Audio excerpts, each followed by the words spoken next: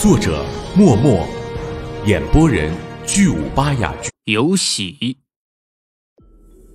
一掌灭杀三人，而且是来自无想天的人。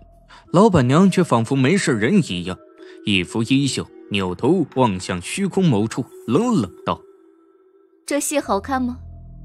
那虚空中，一道涟漪荡过，一个金甲将军悠然现身，头戴鹰盔，腰悬长剑。若是杨开在此，定能认出这金甲将军是镇守虚空渡口的那位金甲上将，乃是五品开天的修为，比起坐镇兴市的大都督叶天雄，也只差一线。金甲将军微微皱眉：“何必呢？出手教训他们一下也就算了，这杀了对你也没有什么好处。”老板娘斜眼望他：“杀了又如何？”本宫不但要杀他们，我现在就去把叶天雄也给杀了。金甲将军听得无语，一个伙计罢了。他虽在镇守虚空渡口，但不代表对兴世中发生的事一无所知。再加上前两日老板娘杀气腾腾的从渡口离去，随便打探一下也能知道事情的来龙去脉。那是我第一站的伙计。老板娘哼道：“金甲将军不住的颔首。是是是，是你第一站的伙计，你第一站的伙计都比别人的伙计金贵一些。”悠悠一叹：“毕竟是无想听啊。”言下之意，随便教训一下就完了，干嘛直接把人杀了？你现在就传信告诉海平乐，我看他敢不敢来找我报仇。金甲将军深深的凝视老板娘，叹道：“蛰伏了一千两百年，你又要再闹了吗？这一次可不一定有那么好的运气。”老板娘瞥了他一眼，衣袖一拂道：“人不犯我，我不犯人。”言罢，身形一晃，朝虚空渡口驰去。金甲将军凝视着他的背影，缓缓摇头：“这么一个女子。”比起许多男人来，都要锋芒毕露，也不知道最后能不能得善终。老板娘的归来并没有引起太多波澜，杨开甚至不知道她什么时候回来的，只知道某一天忽然见她出现在大堂中，热情招呼店里的客人。日子一天天过去，过得平淡无奇。杨开整日里除了在店里帮忙之外，便是炼化那玉梭了，不时的去打探一下世界树和土行开天之财的消息，可惜都没有收获。风云拍卖行他也去过好多次，虽说老板娘之前因为他和老白的事在风云拍卖行大闹过一场，但他有七面傍身，随便换个面貌就能安然进入。拍卖行里也找不到半点关于世界树的消息，土星材料倒是有，不过都是五品之下，对他来说根本没有什么意义。无论是不老树凝聚的木形之力，又或者是金乌真火凝聚的火形之力，皆是最顶尖的力量。杨开不想辜负这么好的基础，所以选择凝聚土形之力的要求也很高，最起码也要是七品。否则，日后的成就也有限。然而，高品质的土星之力哪儿那么容易找得到？上次的金乌真火只是一个巧合，再想有这样的机缘根本不现实。这让杨开有些着急。不成就开天，在这乾坤之外，终究实力太弱。像上次被海公子身边的两个三品开天为难，都没办法反抗。有心去问问老板娘，却又不好意思，更何况真要是问了，势必会暴露出一些秘密。老板娘对自己虽然极好，但两个人的关系还没到分享秘密的程度。杨开不禁有些头疼。这一日，正在大堂中忙碌的杨开，忽听老板娘传音召唤，跟罗海一打了声招呼，让他多看着点便径直朝内院行去。敲门而入，杨开惊奇的发现老白居然也在，而且此时此刻老白居然一脸兴奋的表情，眼睛里冒着豪光，双拳紧握。杨开抱拳见过老板娘，扭头看着老白：“你这满面红光，印堂发亮，是有喜了吗？”老白嘿嘿一笑：“确实有喜，天大的喜事。”杨开眨眨眼，不解道：“什么喜事？”老白傲然一笑：“我要晋升开天了。”杨开神色一怔：“当真？”这对任何一个孜孜不倦追求武道的人来说，都是天大的喜事。在这乾坤之外，开天境就是一道分水岭，开天之上和开天之下是截然不同的存在。追寻武道一生，一入开天，鱼龙变。恍然记起，之前在风云拍卖行中曾见老白出手，那五行之力萦绕于身，明显是半步开天。如今看来，老白距离开天境只差一线而已，恐怕早已凝聚了六种力量，只差最后一步便功德圆满。恭喜恭喜！杨开抱拳道贺，真心为他感到高兴，也有些羡慕。老白这算是功成名就了，自己不知猴年马月才能成就开天。老白哈哈大笑，意气风发，一巴掌拍在杨开的肩膀上。以后咱哥俩再出门，看那云真话之流还敢不敢为难我们？杨开听得眉头一扬：“你要成就极品？”听他话里的意思，压根儿没把云真话放在眼中。那云真话可是四品开天，老白有底气说这话，显然是四品之上。老白呲着牙举起一个巴掌：“五品！”杨开了然。老板娘在一旁哼道：“八字还没一撇的事儿，大话说的这么满，不怕到时候收不了场吗？”老白顿时苦着脸道：“老板娘，别说这么不吉利的话呀！我这一千年可是稳扎稳打，应该出不了什么岔子。”老板娘正色道：“武道一途，任何疏忽大意都可能功亏一篑。你若还是以这种心态去面临晋升，”还是再多等百年吧。老白神色一肃，躬身道：“老板娘教训的是，小的谨记在心，届时定全力以赴，尽人事，听天命。”老板娘深深的瞧了他一眼，语气柔和了不少：“你是我一手教导出来的，每一步基础都打得很扎实，到时候只要你能平稳心态，晋升应该没多大问题。”是。老白恭敬道。去准备一下吧，三日后出发。老板娘挥了挥手，老白应了一声，躬身告退。望着他离去的背影，杨开一脸羡慕。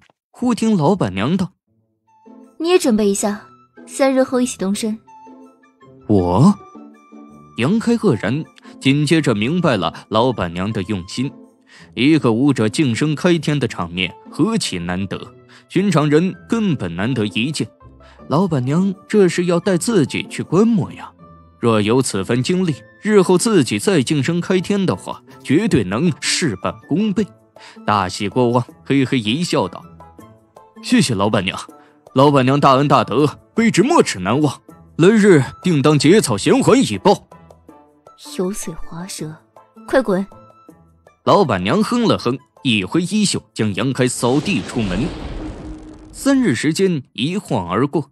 清晨第一站门外，老板娘叮嘱账房厨子等人照看好客栈，领着杨开与老白直冲天外，过了虚空渡口，祭出那楼船，直往虚空某处驰去。比起三日前的兴奋和激动，老白此刻的心境明显的平复了下来，比起以往任何时候都要淡然。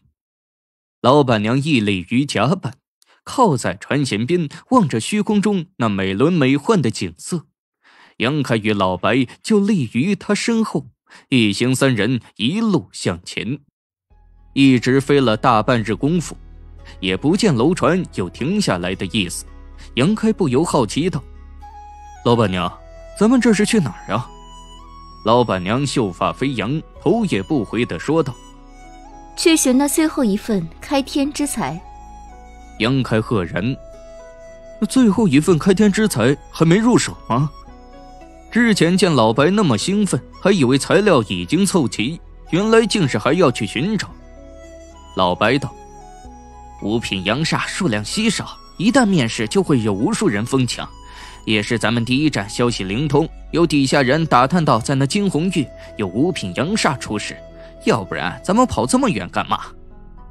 杨开了然，本以为飞这么远是找个无人的好地方，让老白安心静生。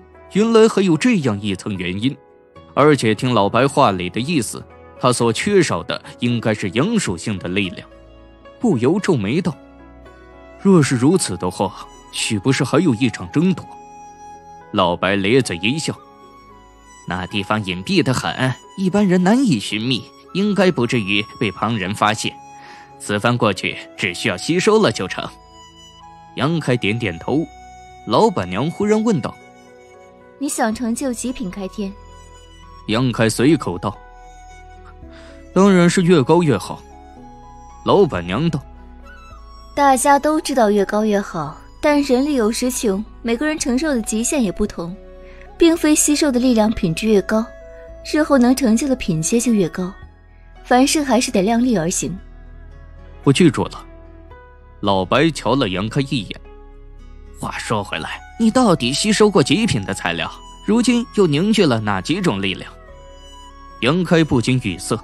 若是几个月之前，他肯定随便回了。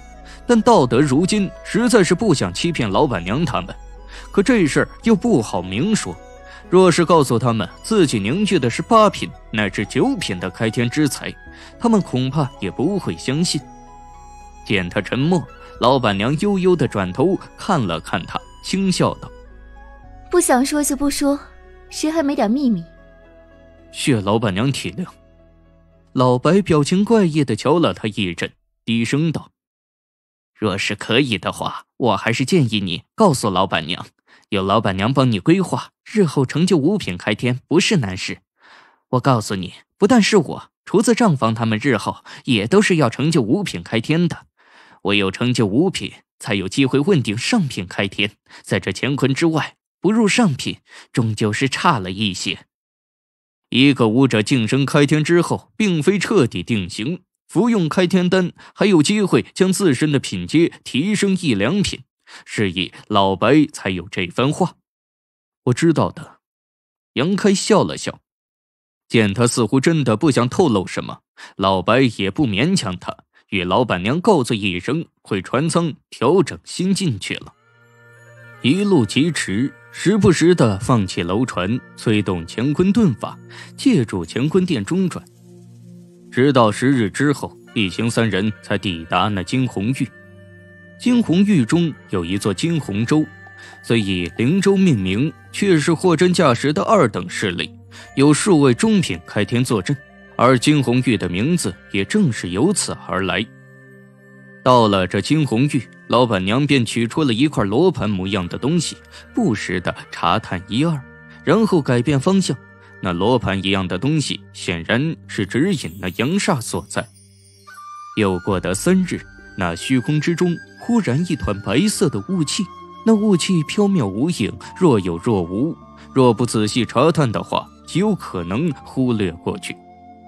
见到那雾气，老板娘神色一怔。娇喝道：“到了。”老白立刻抬眼朝那边望去，纵然有所克制，也是抑制不住心头的激动。没办法，他等这一刻足足一百多年。相比较五行之力来说，阴煞、阳煞这种东西更加稀少难得。任何一份阴煞或者是阳煞，论价值几乎是等品质五行之力的数倍以上，而且有价无市。第一战也算是不俗的势力，可这么多年来依然没法为老白寻得一份合适的阳煞之力，可见这阳煞之力是多么的稀少。这一次若非机缘巧合，只怕还要等更久。楼船疾驰如电，很快便来到了那白色雾气面前。到了这里，杨开发现这压根不是什么雾气，也不知道是什么东西。近看了，像是一团棉花，可内里却清楚地跌宕出空间波动的气息。杨开恍然大悟，这像雾气又像棉花一样的东西，赫然是一处秘境的入口。真正的阳煞根本不在外面，怪不得老白说这地方隐蔽至极，一般人寻觅不到。之前他还在想，若真有五品阳煞出世，又怎么可能不会被人探索到？毕竟这等珍稀的好东西，足以让许多人争得头破血流。如今看来，倒是自己想差了。站在那雾气面前，老板娘只是略一打量，便双手翻飞结印，旋即一指点出，那白色雾气如得号令，左右分开，露出一条通道来。走！老板娘娇喝一声，催动力量，裹着杨开和老白闪身而入。待三人消失后，那通道又徐徐合拢，眼前视野一花。等杨开再回过神的时候，整个人已经来到了另外一个世界，没来得及打量这个世界到底是什么样子，但杨开却清楚地感受到，此地充斥着极其浓郁的阳属性力量。锁阳地，老板娘黛眉一扬，显得意外至极。怪不得能诞生五品阳煞，原来是锁阳地，这地方不得了。杨开不解道：“老板娘，什么是锁阳地？”老板娘道：“锁阳地是一处极为特别的地方，这个地方阳气不会外泄，只会越聚越浓，所以很容易生出阳煞。而且随着时间的推移，阳煞的品阶也会越来越高。纵然是这一次取走，等再过个千八百年的，又会有新的阳煞诞生出来，可以说是取之不尽。”用之不竭。这三千世界，锁阳地不是没有，不过都掌控在几个大势力手上。生出来的阳煞，要么供自家弟子使用，要么拿来与别的势力交换其他物资。老白也振奋道：“老板娘，咱们这下是发了呀！若是能将此处掌控在手上，日后哪还需要担心阳煞之力的来源？”老板娘颔首道。回头我再仔细查探一番吧。若是此处真有价值的话，也可以想办法掌控。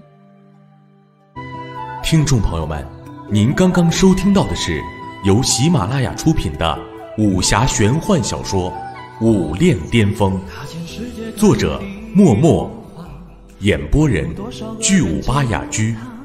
更多精。无心深处牵挂，共谁演绎这张金戈铁马？谁祝福真又算得到？